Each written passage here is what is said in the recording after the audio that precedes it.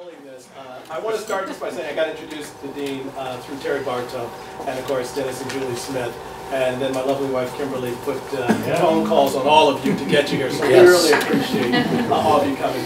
You know, tonight is uh, Traces of Humanity is the theme of this, and it's an opportunity to meet this wonderful artist. And what I thought we would do is share a little bit about what the inspiration of this artwork is, how he got to, from where he grew up, to be able as an African-American kid to be able to get on this journey and do it. And I think what you're going to find is his story is very similar to many of your stories. It's uh, unlikely beginnings and, and finishing through through ambition and where there was no one to lead. And, and, and his story touched me and Kimberly so greatly that uh, we immediately felt that it was important for us to be a part of this. So um, I thought we'd do is uh, just have a little conversation and uh, give you a chance just to kind of listen in, and I think it'll give you a window uh, into the artwork. Um, he is perhaps one of best kept secrets in the art field. He has uh, won over 400 awards, and yet he's not a household name. And some of that is purposeful, as you'll hear tonight, as he has stayed principled to the work that he does and what he believes in, uh, as opposed to perhaps more commercial ways that you can make money in this business. And through his journeys, he'll tell you how he learned about the business of art, and there is a business to the fine arts world, and uh, how he went on that journey. So, um, without further ado, let me get into it. Um, you grew up in Quincy, Florida. You grew up with uh, your grandmother. You grew up with uh, your aunt, and a lot of strong women who really were uh, part of your upbringing. No father figures. Tell us a little bit about what growing up in Quincy, Florida, and moving to Philadelphia was like. Uh, first of all, I was raised by my grandmother from 11 months old. And apparently, uh, at that time, my mother was not a wed mother. And so uh, she actually fled the small town out of embarrassment and also by the fact that she was in college and they could have kicked her out had they known that she was pregnant. So she gave birth to me and wrote my Uncle Ben, her brother, a letter about me. And I said she'd given birth to a child and she came home without me. And so my, when she arrived, my grandmother and my grandma Celia and my grandfather at the time, my maternal grandfather, said, so where's the, where's the child? And so they said, wherever he's at, you go back and you get him, and we will raise him, and you will go back to school and finish school. And that's what my mother did. And my grandmother was the one who bought me a paint by number set when I was a boy. I guess if you know much about boys, if you got kids, I have twins now, I have a little boy, they're very active. So I was probably very active, so she got me a paint by number set. And this was actually the beginning of my falling in love with art. And so from that paint by number set, uh, that was the inspiration, and from that day forward, I've always loved to draw and paint.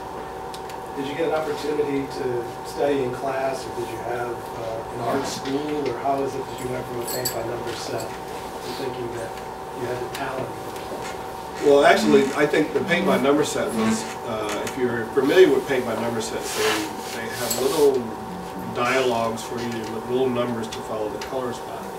And because it was so tedious and uninteresting to me that way, I freehand the image myself and painted it. And so, uh, uh, as far as studying, well, no, in Quincy, I mean, art was kind of, you know, there was no artist, there were no role models, and it was a small country town.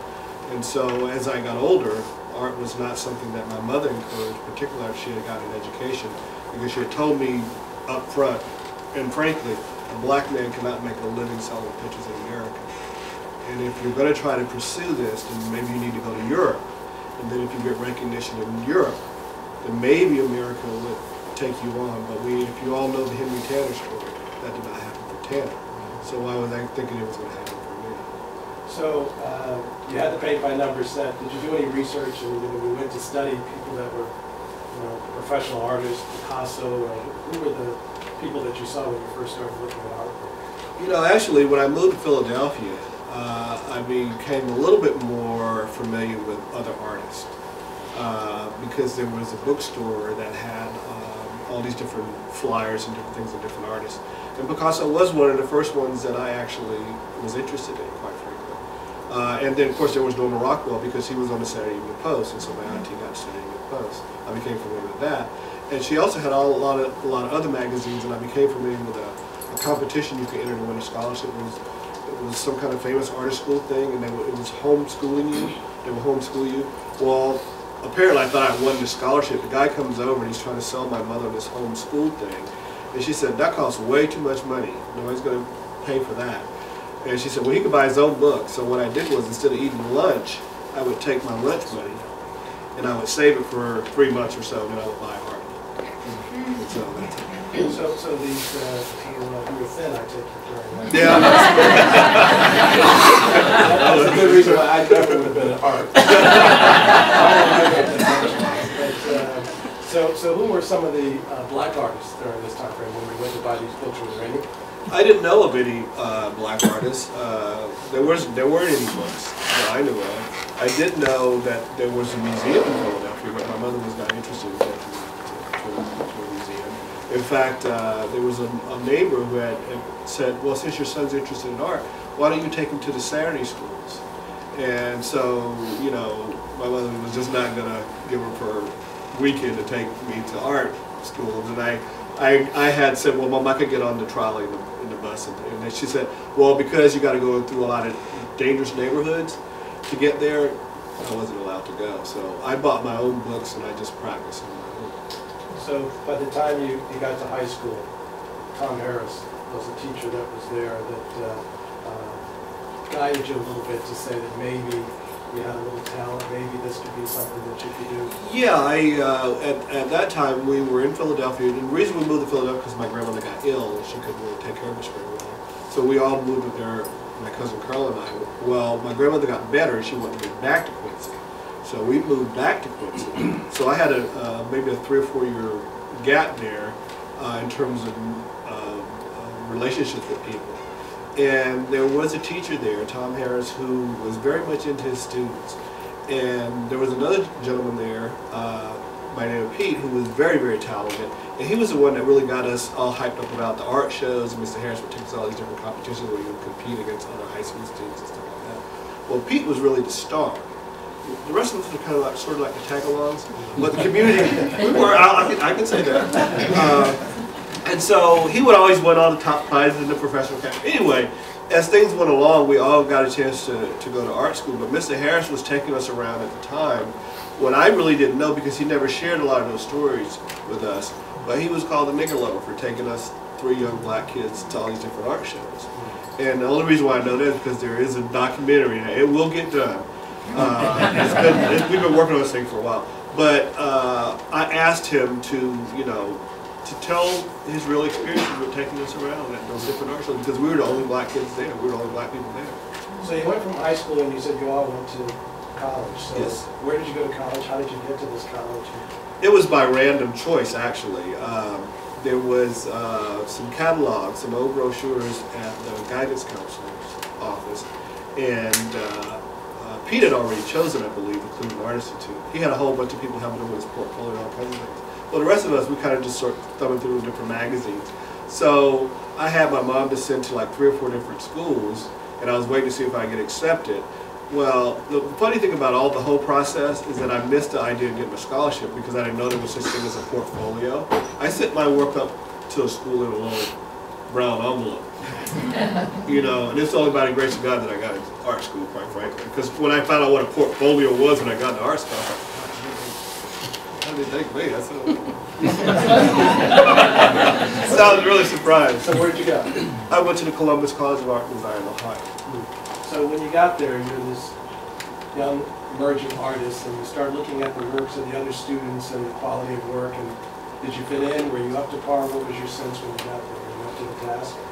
Uh, actually, it was a shock because uh, you know when you're in a small town like Quincy, and people say, "Well, you're really talented, you're really gifted, you're really this and that."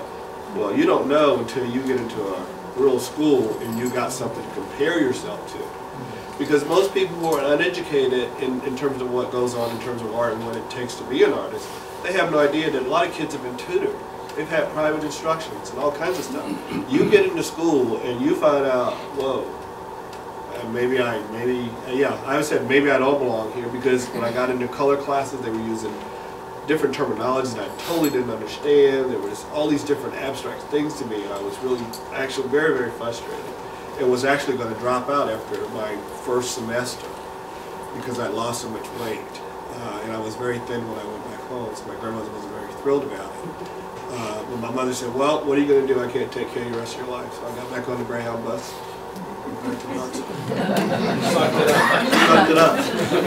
So, so we get there and you learn these new terminologies like gesture drawing and one of those things. So, so what was those kind of things? Oh man, that was an eye opener for me. You know, it's Mr. Yeah, my high school art teacher would talk about gesture drawing, but we thought, eh, you know, whatever about the gesture drawing. We were like, if you when you're drawing something, uh, a lot of times when you're when you're not very skilled at what you're doing or don't have the knowledge, you draw a head first and you put the shoulder on, and you put the arm on, that kind of. And what happens is when you do it that way, a lot of times the proportions are off. They're not they're not accurate. Mm-hmm. And so we had a guy there from Yale University, I remember, that drawing, we had new, live nude models that would come in and pose for us. And he walked, he walked around very That's carefully. how I got through college. by the way. He wa- Michael, you must be on here. Sorry. Digress. but anyway, he walked around very carefully, and, and, and so he said, so he, he, he looked at it, he said, well, I guess he probably figured that a lot of us didn't know much about foundation drawing. So he sat down in a chair, and he had the model to move every 30 seconds. 15 seconds, and then he moved to 30 seconds, and then he did what he called gesture drawings. Well, he did what you call the essence of a, of a, of a, of a movement with a few lines. And then finally he said, a minute or two minutes. You know, within two or three minutes he had drawn the complete figure. It was miraculous. And I said, oh, all right. That's what gesture drawing made sense. you know, but it was, it was, it was, it was an eye. And that led to an interest in watercolor? Uh, yeah, that led to, actually, there was a student there that uh, had came in, uh, the same year I came in, and I saw for the first time what a portfolio looked like. I was on work, a work study program, and this guy came through, I was sweeping the hallway, and had this huge black thing with two, two handles to it. And I said, what's that? He said, oh, it's my portfolio. Some of the instructors want to see my watercolors. And I said, you mind if I take a look at it when you come back through? When you come back through? He said, sure. Well, this kid was just a phenom, a phenom. I'm not kidding you. I said, and he opened up his portfolio, and I looked at it. I said, "That's a watercolor." I said, Yeah. I said, "Whoa!" It was, it was an eye opener. He was a student, and I ran back to the dorm, and I was staying with another guy named uh, Charles and Jesse. They were both African American. And I ran. I said. Man, I just saw some watercolors, and they already knew the guy. They said, John Pelican? Yep. I said, how'd y'all know? I just saw it. Said, man, you ain't gonna never get that good. Some- some instructors, and you And know what? That next day, when I got my little brown book up, I went and checked out every book I could check out on water. Mm-hmm. And I did my assignments, and I did extra work. And they were over in the corner giggling. They were laughing at me. You know what? Went home for the summer. I was practicing and practicing. Sophomore year, they weren't laughing. They weren't laughing. So sophomore year almost didn't happen. It almost didn't Freshman year, you lost 40 pounds. Yeah, which I did. think At this point, was a lot of weight for you to lose. Well, yeah, I I, uh, I was actually afraid to go back because uh, the competition, and then on top of that, when we did the orientation there, they said half of you will not be back. They tell you that you're going to put in as many hours as an engineer, a doctor, or a lawyer. I said, I thought, here's my little country thing. I'm thinking, you're just going to be drawing pictures.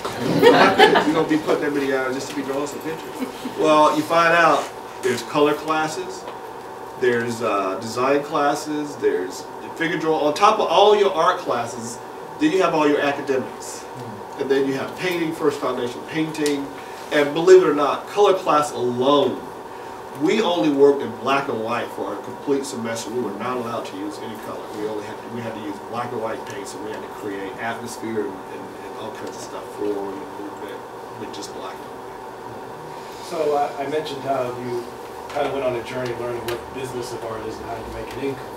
You know, and um, I remember when we talked, I had a chance to see your studio in Tampa, and we spent some hours there. And you mentioned that a friend of yours, Ray Ledbetter, and you went around and toured because you said, how are black folks going to make money?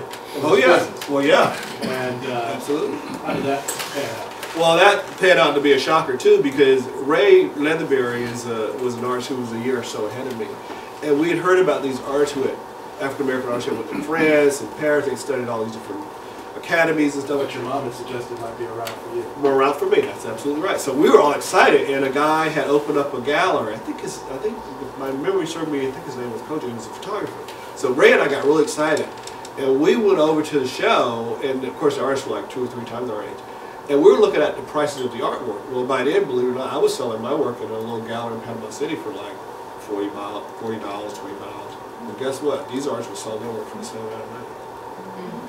We walked out of there and we were shocked.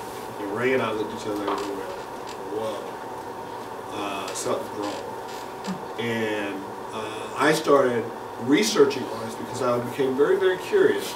Uh, there was a museum right next to the school. So as I went through the rooms, I didn't see anything of us, image-wise, and I didn't see any names of any African American artists. I, I, I had an art history book. There was nothing in that. And I thought, wow, maybe my mom was right. Maybe this ain't something that black folks. My auntie said, you know, black people they don't spend that kind of money on pizza. you know, that's, you know, that's white people stuff. You know, that's. And so uh, I said, wow. I started researching them, and then I found out that quite a few of them were really from well-off families. They were from well-off families. Then I found out about Thomas Eakins, how Henry Tanner studied under him, the African American artist Henry Tanner, and I read his story. And then as I as I began to emerge on the scene, I ran into all the artists who were telling me about the difficulties of selling their work and making a living and all these different things. And I thought, wow, maybe this is, maybe I better rethink some of this. So you put all this effort into it, fell in love with watercolor art, went out and realized that the route going to Europe really wasn't going to be uh, a successful route in terms, because if they didn't do it successfully, there was no reason to believe that you could. So you told me you came up with this new plan, which was entering in competitions in a way that maybe you thought, because you didn't have any money, that you might be able to make a living. So what what was your plan after this? Well, you know, it's really funny. I, there was a guy named Walter King who was a, who was a student, he was a white fellow, he was poor, just like I was. He was just Caucasian, but I, was talking about how I wanted to be a fine artist. You know, dude, that's, you know, fine art is hard. I said, yeah, but that's really what I really want to do. And I said, well, Walter, here's, here's the plan. So I've been researching all these artists. I said, you ever heard of National Academy, and American Watercolor, all these different art organizations out of New York? He said, oh, I don't know if we-" And I said, well, what I'm going to do is I'm going to enter competition. And that's going to be my platform into the art world. Because I don't have any money, I don't have any real political connections, and from what I understand, people are already connected to the art world. And uh, that's how I got my foot in. And I also wanted to do it too because as I began to emerge on the scene in terms of getting my work represented, I found out that very few mainstream galleries had artists of color in their galleries. And I thought, well, and then a lot of my friends who were, becoming known and stuff, uh, in illustration said that that was the that was the that was the way to go, uh, not fine art. That it was the way to go. So the creme de la creme of that is the American Watercolor Society and um, The National Academy. the National Academy, and most people who try to enter that don't do very well. And so when did you get your first opportunity to apply? How long did it take? You know, I had a watercolor instructor who thought I was pretty good. He said, you know, in fact, he was the one who actually introduced me to the American Watercolor Society. His name was Leland McClellan. And he said, have you ever heard of it? I said, no. I said, I've been doing some research on it, but I said, uh, I said, but I'm not really familiar with the process. So he said, you know, I enter it every year. And he said, I think you should give it a shot. I think you might have a chance.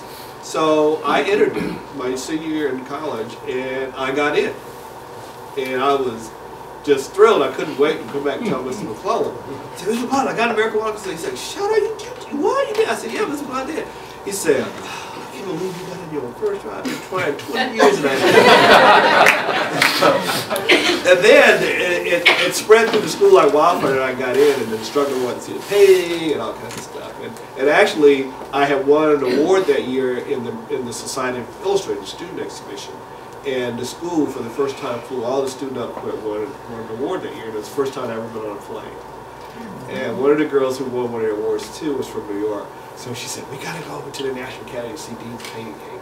So you know, I went up to see my work and I was like 20, 21 years old. It's fantastic.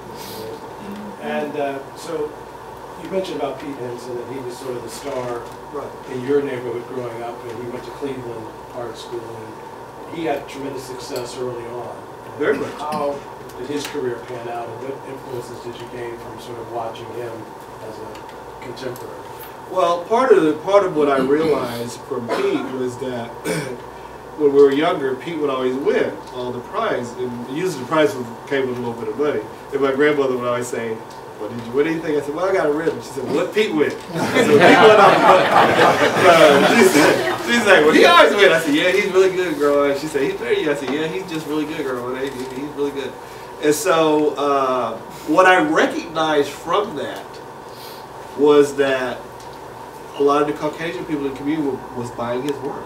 In fact, he has some paintings hanging up in the Quincy uh, courthouse right now that was commissioned. They specially created a job for him to create these paintings And they still have those hanging there. And so, uh, but what I recognized was, if I'm going to enter these shows, I got to win. I have to win. Because I recognized when he was winning the best show in the, during his teenage years and stuff, people, they just they wanted a winner. I said, people like winner. I can't be second. I can't be third. I gotta be first. Mm-hmm. And it wasn't arrogance. It's just that I recognize that people respond to excellence in the best, and that's what I went for. And so Pete was actually an education for me, watching how people gravitated to him at a young age and buying his work. And so he became very successful very quickly, and I think that he got to the Cleveland Art Institute, and I think he might have got overwhelmed too. He had success very early, and then he moved back to Quincy, which I thought was not a good idea for art in those days. and, uh, yeah. well, anyway, things just did not work out. and He just, you know, drug, a lot of stuff got got thrown into the, to the pie. And I actually, we, we, everybody tried to help him. I mean, I can't tell you how many people tried to help him. Uh, and he's very gifted, but just we don't know why. We don't know whether it was success too early. Was it a lot of pressure? But he did get a job right away with the, with the family. Phipps family really liked him. They hired him at WCTV. He was there for a good amount of time, and I tried to get him to enter the American Watercolor Society, different things. He Even tried the gallery in Panama City for a while. That didn't quite work out either. Uh, but uh, you know, it's one of those kind of things where you don't know. I, what I recognize too from that, every decision that you make, no matter how small you think it is, it, it can be a very significant part of the puzzle. Uh, you know, it's kind of like you could you could have a, a wonderful thing going, but if you don't put that one stone in there that supports all that, It was, a, it was an education for you, a lesson in humility, watching a contemporary and seeing what success early can be. And I think too, I wasn't, I wasn't so much, I didn't have people expecting anything of me, you see, but he had a whole community looking at him and who was supporting him and doing a lot of things for him. So I didn't have the pressure that he had. Uh, the pressure that I had was just upon myself, that here was a grandmother who had taken me in with a fourth grade education, who was always drilling, get a good education, that's your way out. And when I when I when I was in art school and I started feeling sorry for myself, I lost all this weight. I said, you know what? You know, my grandmother didn't even have an opportunity. At least I got, I got a shot. So the plan was working, at least you could see a level playing field and a way for you to move forward. Absolutely. So you graduate from college and you go get your first job at Hallmark. At Hallmark. And how does that work out? That Are you in the greeting card section doing? Yeah, yeah, that was interesting. I, you know, quite frankly, you know, uh, Hallmark was another, again, another, another learning tool. I ran into a lot of wonderful artists, uh, uh, a few who were African Americans who were employed there. But what I did learn, I learned the politics of the corporate world, which I was totally out of touch with. Uh, they really liked me. They thought I was very gifted, and I do know uh, I got to, to work in what they call S and I. Well, because they asked me what department I wanted to work in. Well, and I said, well, S and I. I mean, that's nice. And they said, why? I said, well, seems more interesting. And apparently, they don't usually hire artists right into that. You have to work your way up. That's into nice that. style innovation. Yeah, yeah, you have to work up to that. Well, they hired me right into there, And uh, uh, anyway, uh, when I went in the next day, there was all these artists who were coming up to me. There were some more African American, quite a few of them from down in greeting card. And I was talking about art shows and different kind of thing. They said, you know, how much does it like you talking about that kind of stuff? And I said, they don't care. I've already talked to the vice president and all this. Come to find out they did. Uh, and I was entering these different shows, and one of the shows that I entered was the T.H. Saunders International Arts and Watercolor Competition. And one of the reasons why, because it was in London. The top prize was $2,000. Well, I had to work all month to bring home almost $1,000 worth of. Wow, to get the win, it would just be neat to hang, to say you hung something in Europe. Hey, hey. Well, I got accepted, and I won the top award, which a $2,000 prize. Well, at the time, I only had $300 in my account. It cost me a hundred bucks to get it framed, and then another hundred bucks to ship it over there. So that, that left me You were rolling the dice with 100 So, left. yeah, I was like, you know, this may not be a good idea, this Yeah. Europe thing.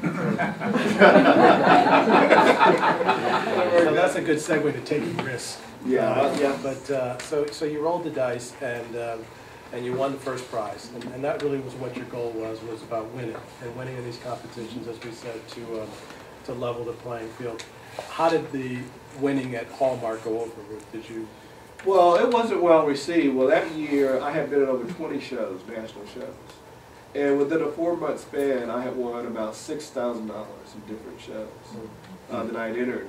Uh, and so there was an article in a, in a publication there, the Artist Coalition. Do you remember all that? Anyway, Artist Coalition, and they had my page on the front cover that had won. And when I walked into work, I saw it on the secretary's desk. I said, "Oh no, it's going to be some crap today." And so there was. They didn't really like it. They wanted me to stop. And I said, "Look, you know, uh, this is something you said I could do. Now suddenly I can't do it." And so I didn't realize the guy that was over my department actually, at one time, wanted to be a painter and had studied under the famous painter Thomas Hart Benton and had sold out to Hallmark. He was the one who was saying, he said, you know, you need to make up your mind whether you want to be here or whether you want to be out there. And I said, no, I don't. I said, I give you what you want on your time. I said, what I do in my own free time, according to Mr. Parker, I can do whatever I want as long as it's not doing something close competitive. you didn't know corporate I didn't know the corporate point. politics. So you lost your job at Hallmark. I did after, uh, you know, what was really funny though, after three months interview, uh, Mr. Parker called me and wanted to know if I was going to make a career out of it. And I said, I don't really know yet. And he said, well, why so? I said, well, I said, well, you know, Mr. Parker, I've only been here about three months. And I said, I said, you really want my honest opinion? He said, yeah, what's your honest opinion about the job? How you feel about it? I said, well, quite frankly, Mr. Parker, I said, uh, I don't see any African Americans in any positions of authority at Hallmark. I said, so you're asking me if I'm going to make a career out of something where I see none of us in the creative division. I said, I can't speak for the rest of the department, but there's nobody in position of power, authority, or, or managers hardly or anything. I said, so now you're asking me if I'm going to make a career out of it? I don't know. Should Hallmark change and I see other African Americans moving up the ladder and I see some changes? Perhaps. But the way I see it right now, Mr. Parker, I think not. So you're on your own and you've decided you're gonna have to rough it because you're principled to what you believe in. So who are the artists that you start to see now that, that inspire you and the work that we see here tonight? uh, What, what are the influences that, that generate? Oh, you know, my influence is, you know, what people have to realize with my work is that it was heavily, it's, it was what you call, what most would say, a more Eurocentric or European influence. And uh, my thing is like this, I look at, I look at art as information. And I don't care who's doing it, what culture, because all great artists, when you look at Picasso and all these great artists, or Matisse, or any of them, or Jacob Lawrence, any of these great, Henry Tanner, these great artists, uh, they didn't get so caught up into race. It was the culture of the time that was caught up into race. These men were on a higher intellectual level about learning about humanity and presenting something that was real to the human form, to the human emotion. But at the at, at certain times in our history, race and all these kind of ignorant things came into play to suppress us from becoming a better and bigger, greater nation. Uh, we could be a greater nation with all this nonsense. So I looked at things like I didn't care who it was from, who, what, I looked at Rembrandt, Picasso, Matisse, Renoir, Henry Tanner, uh, Jacob Lawrence, you name it, if I think they, I'm gonna look, and I'm gonna try to learn from it. Because, I mean, that's how you grow as a painter, that's how you grow as an artist. People say Andrew Wyeth and people like that. Andrew Wyeth. Like your artwork, who's a white painter, Yes, uh, but painted black subjects. yes. But in the black community, people said your work wasn't black enough. Well, yeah, I had somebody say, well, what are you gonna do some black art? And I was like, well, I'm black. I'm doing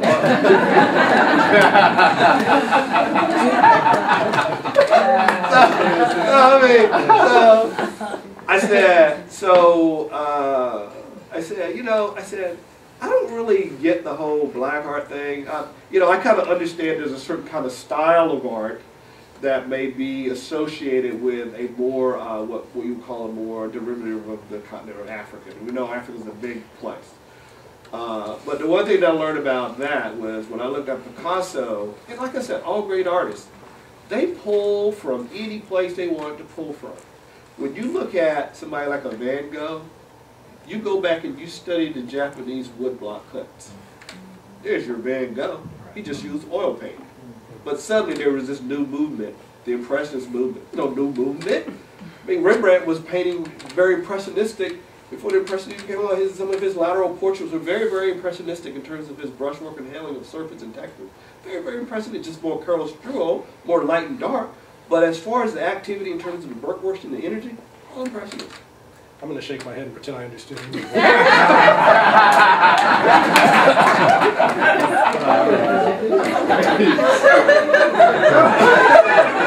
Trying to keep this on my level. We just treaded into the unknown. I get a little, I don't have a card for that. Uh, So you're, you're out there and you're, and you're selling your work, and uh, you kind of find out it's not so easy, and you go on a journey out in the panhandle, which may not be the best place for fine artists to sell work, but you go to a dozen or so galleries, and tell us about that journey when you're... Oh, yeah. Ah, you know what? My mother had actually encouraged me to enter a show that was in Panama City. And she saw it in the local newspaper. She said, I think you should enter a show. And I looked, I said, well, that's got like 20, 30 gallons. I probably can get it. She said, well, baby, just try. it. So I entered it, and I won a prize. It was like a $100 savings bond. So I decided I was going to go down and pick it up. So we went down to the Marine Exhibit Center, and I walked in. I said, I'm Dee Mitchell. And of course, they recognized my name, and she said, black. and I was like, well, yeah. And she and and, and, and and here's how she said it. She said, "Oh no, no, young man, don't get me wrong." She said, "I just we're just so excited. You were the first black artist to ever enter our shop. We were just so excited to have you." And they they treated me so nicely. In fact, there was a lady by the name of Joanne Dickerson thought I was very talented, and she was going to find me a gallery. That's when she took me up and down the panhandle. Nobody wanted my work. So finally, she just finally said, you know, they don't work because you're black. They're afraid going to run off, their clientele. And she just went on. Thing. So finally, we stopped at this one place and I said, look, let's not take the work. I just want to look at the art. And we went in at Spellman's Gallery. And I was looking at the work. And there was a young guy, who was sort of hippie with a ponytail. He said, are you an artist or something? Yeah. He said, I could tell way you're looking at the artwork. He said, do you have any work here? I looked at Joanne, like everybody else was saying no, this guy's asking to see it. I was like, wow. I ran out and got the work, and he says, uh, these are great. He said, I'll buy, I'll buy five of them right now, so. And I'll uh, put the rest on consignment, whatever you're willing to leave, and I'll send you a check. And that was my first gallery. It seems like there's times where you get to a point in your career, there's a bump in the road, and Yeah, you lost wanna- forty pounds, you almost gave up, you're almost out of artwork, you're almost down to your last hundred dollars, you enter the prize in London. Here you're in the Panhandle, broke, Yeah. and you sell a piece of work. So It's, but there's been, it's, it's very interesting. There has been a lot of pivotal points like that because when I got fired from Hallmark, uh, my grandmother passed not too much longer after that. Uh, and so I wound up in a little bitty apartment. And actually, quite frankly, I was very suicidal with, with not wanting to live. And depressed, I didn't have any money, I was broke, I was there, I, and then my mom, I could hear my mom's words, and I told you this art And so I laid down on my little mattress and box spring that time, feeling sorry for myself, crying and not wanting to go out. In fact, they called me the mountain man. I had a beard, I had hair I wouldn't comb and all kinds of stuff. And uh, the soft voice said, baby, didn't I tell you nobody's going to give you anything this morning? You got to work. You had a spiritual connection, you know, the, the art gallery here put a quote, I just pulled it off the wall, I put it back, but I wanted to read it.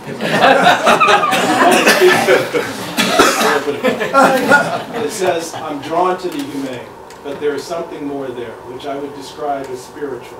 I do believe in God, I do believe when you create that something else can take over. I've said this, ask yourself, what is the intention for bringing this work of art into existence? If that intention is pure, to say something to humanity or to stir something in people, then you are tapping into another source beyond your control. If you are creating for self-indulgence or for gain, something will be lost, and I'm not sure it can be regained. That's, thought? I think that, you know, I think that's probably a lot of wisdom I got, probably from my grandmother. You know, my grandmother and the people I grew up with didn't have a lot of material wealth. My aunt Dolly, she'd never learned how to read or write. But there was a dignity and an honor to how they handled things, and I watched that and sort of honor. And and I've also and I've watched other people's careers throughout, you know, whether it's music or art or anything. And a lot of times, when you're not connected spiritually to a higher sense of why you're doing something, you're gonna crash and burn. Mm-hmm. Doesn't matter how much money you make. It's not gonna make you happy. It's not gonna fill your soul, and you're gonna do all kinds of crazy stuff looking to fill that hole. And that hole doesn't have anything to do with money. I mean, we I recognize that I live in a capitalist society and I have to make money. I understand that. And I even understand even more so I have a family. But I think that if you're trying to create something to move people to a higher place, to either get along with one another, to stop wars or famine or whatever it is that is crippling our way of life as, as, a, as a world, as a people, then I think that's a different kind of sensibility that you bring. And I think that people will respond to it. Sometimes it's not always within the artist's lifetime. Sometimes it takes people a while to catch up. Because sometimes there are certain things that make people uncomfortable. And art can do that to some people. It can make them very uncomfortable. Uh, Rowena made people. Uh, but she was such a powerhouse in terms of a strength and an emotion in that painting that I think that people just had to stop. And there are things that mesmerize the soul to the point that you just have to stop and, and question how you live in your own life. Art does that. Great art does that. You, you talked about Rowena, and you painted this black woman, uh, ordinary woman, for an exhibit at the Hubbard exhibit. And how did you choose to paint Rowena, and what was the significance of that work? It was actually, um, it was a way of celebrating my grandmother who had passed, and I could not get to actually model for me. So a friend had introduced her to me, and at the time, yeah, she was just, you know, very much that grounded, that she was solid. And I said, wow, she is something. And I didn't paint her for a few years or so. And then I got invited to this show. And I didn't realize I was the only African American. I was one of the youngest artists invited to this show where I was competing for a quarter of a million dollars. And this was in 1990. I was the only artist of color invited. And I thought, oh my God, what am I going to paint? And she was the first person popped in my head for a week. And I said, I called her up and I said, sorry about this day. I said, uh, think about, I don't want to have you model for me. And she says, yeah. She said, no, baby, no. You know, I said, she said, but I do need an air conditioner. I said, she said, she said, well, she said, uh, I said, well, I tell you what, Miss Highball, I'll come and pick you up and I'll buy your air conditioner. I said, uh, I'll buy your air conditioner. This friend of mine had brought her over and she was wanting to get this air conditioner. And I said, look, I said, uh, I'll get the air conditioner. She said, no, baby, I can't let you spend that kind of said, yeah.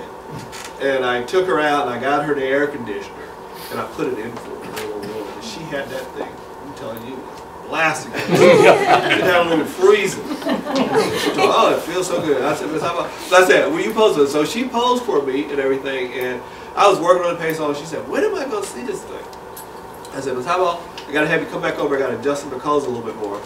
And she was sitting on the couch, I was trying to adjust the colors, so finally she, I showed it to her, and she looked at it. And she said, baby, ooh, like that. Call the water old black. Or want something like that. You don't want to old black. You know, it just broke up. And when I sent it down to the Hubbard show, it was even, it got more interesting. Because uh, at the opening, there was about, oh, about, I don't know, probably a good eight, nine hundred people there maybe. Uh, and people walk by the it's beautiful, but I don't know where I put her at. Because they were in the Western art. And so Rowena, you know, was an African American figure, but apparently it had got a lot of attention, but nobody wanted it. And I didn't realize at the time that it was going to be a finalist. But my mother was at the show, and there was another artist that had did a painting of an African American, and she didn't like it. And she said, "I think that just looks very foolish. Why do you always got like a make us look like that?" And I said, "Well, we're not here." anyway, uh, that painting solar roll we didn't sell well.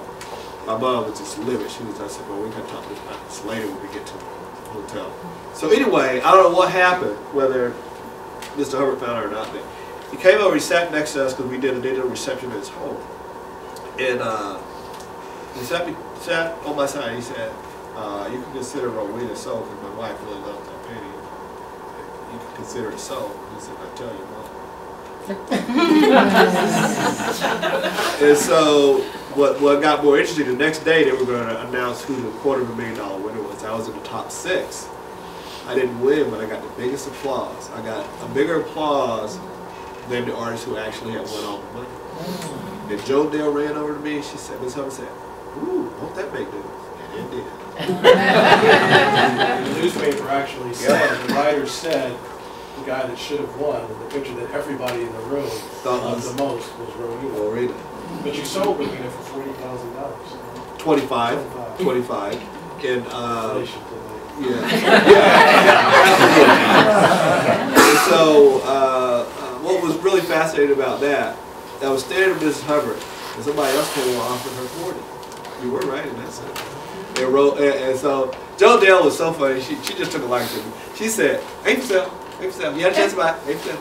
And, and, and so, uh, anyway, she said, you know, Dee, and I still see uh, Joan Dale. In fact, when the recession hit, Joan Dale called trying to buy a penny for me.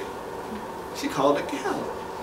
I thought, that's interesting. Joan Dale got my number and everything. Could just call me. I have a kind of relationship with him. And so, come to find out, I looked up. She went into this gallery, bought like a couple of paintings. Somebody saw her buying. They bought a painting. They said, no, I got a gallery. Because of, because of that. Because the recession had hit. So I think that she was, again, trying to help me. And uh, she's always been that, she's just the sweet of a person. And, and in fact, when this documentary got was going to get made, I said, I said, Joan Dale, I said, this guy's from New York coming to do a documentary. I said, uh, she said, New York. You know, New York. I said, yeah, you West people, always New York. Anyway, uh, I said, well, I'm not asking for any money. What I need is an interview. She did grant us an interview, which she doesn't really do. She's very extremely private. And I, re- I respect her a great, great. So the documentary Making of a Master uh, is the fact that you've won over 400 awards. You've written two books. Who did you do the books with? Oh, well, I pretty much, well, I had a friend who helped me with the first one, A&A, but I pretty much, you know, laid it out, designed it. And in fact, I had a publisher I was working with at that time. And I said, you gotta understand, this book has been done, this is about 15 years ago. And when I first started talking about doing a book, uh, a lot of you guys were like, no, you know, artists don't do their own books. It's not something you do. That, was frowned upon. And I said, well, I, ke- I kept looking, going into bookstores. I see four or five books of Picasso, all these different artists. I ain't see nobody. I ain't even see Jacob Lawrence or Tanner, nobody. I said, do do my own book. I told the guy, I said, you know what, you don't want to do about my book. He said, well, we do. Who's going to be the market? Who's going to want to buy it? And he got into all that, the marketing aspect of it. I said, you know, I'm doing my own. And so when I published it, and I sent it to the publisher, he said, who published your book? I said, you talking to him? He said, is this the book you was talking about doing? I said, well, yeah. He said, so who designed it for you? Who, who did the writing on that? I said, you talking to him? He said, you mean tell me this is the book you was talking about? I said, yeah, I pre-sold it to my collector base. And I brought in almost half of the money before I went to press. So I pre-sold it to people who are collecting my work. And I offered them a drawing of the book to help offset the cost of it. Because at that time, a book would cost you easy cost you 70 grand. Did you do a book with Maya Angelou too? Yes, I did. What's? Uh, oh, that's really good.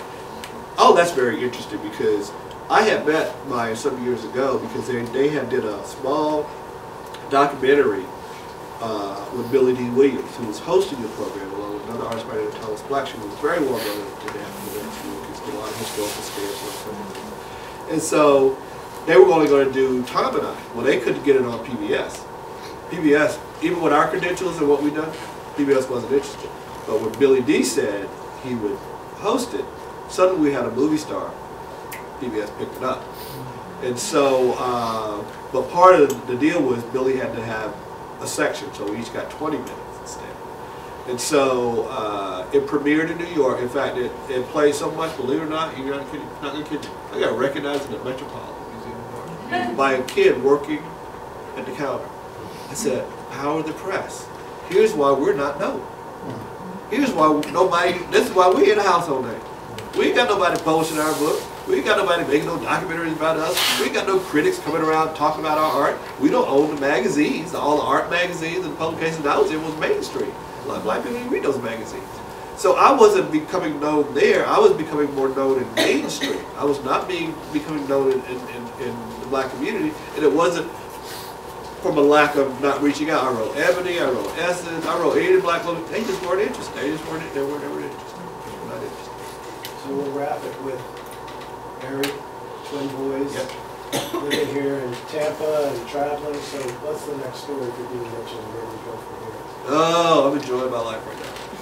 Uh, my kids, you know what? I'm hoping uh, to continue to push the envelope in terms of, of trying to educate people more about the arts and the purpose of art and how it influences our lives economically, socially, spiritually, because I think that's very, very important and I want to grow my kids up that way. And I want them to be sensitive to, to the world around them. I don't want them to become so self-absorbed that they're not sensitive to their environment, what goes on. Because we all live in this world, believe it or not. When you think one thing isn't affecting you, believe me, it is affecting you. Because it's just not the way the world operates. I mean, the sun revolves, I mean, we revolve around the sun. So everything in the universe, that's why I think there's a God, whether you believe in a God or not, the universe is too orderly. In certain uh, it's just too it's just too calculated. Uh, how if the if the Earth moved a little too close to the sun, we could totally. It's, it's just too. It's this is just not. This is an artist that created the universe, and however we relate to it, and we and I think in some ways, in our own primitive way, we try to still relate to it. But the one thing that we haven't learned yet, and I still say this, we have not learned to truly love. Just haven't. And it's, it's, it, that sounds so simple, but we have not. Man is still a very selfish creature because I myself battle with my own selfish things. But you have to move to a higher place if you're really going to enjoy life.